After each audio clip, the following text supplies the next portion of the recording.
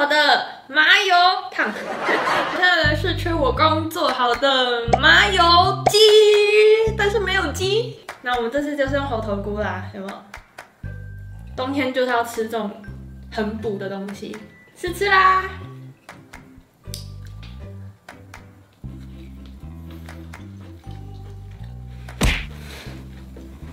猴头菇真的不是我在讲，怎么可以那么好吃啊？声音也太脆了吧！我真的已经不能用言语来形容它了，它真的是很优秀的猴头菇。嗯，好好吃。我今天用的是猴头菇啊。那如果你觉得猴头菇不好处理，或是没有买到那种处理好的猴头菇，你也可以用杏鲍菇来代替啊。嗯，然后因为我今天放了真的是大量的高丽菜进去，现在这汤头应该是应该是很香。我来喝一口汤，直接喽，直接这样。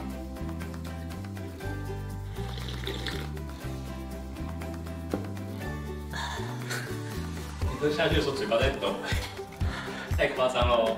你知道我没有在演，因为我用大量的姜去煸，所以那个汤有点像微微辣辣的，好舒服哦，真的是从头暖到脚哎，这冬天真的来一碗真的是完美哎，天哪！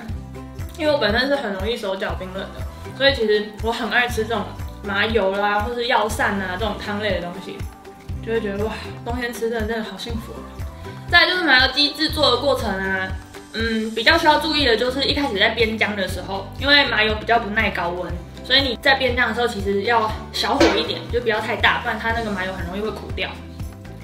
其实冷油下去煸就可以了，就是你油还没热的时候，你就把姜丢下去，然后就慢慢让它煸煸煸，然后你只要看到那个姜啊，刚影片有没有应该有看到，就是那个姜慢慢这样 Q 起来，就是卷慢慢煸煸这样卷起来之后，就是差不多好了。那如果你是吃纯素的朋友啊，那你就把今天的猴头菇用杏鲍菇来取代，嗯。一样很好吃啊，真的，冬天来一碗这样热腾腾的，然后再搭个面线，就好舒服。我们有拍只菇老肉的影片啊，也是用这个牌子的猴头菇去做的，也很好吃，你们可以去看看，也连接可以去看看菇老肉。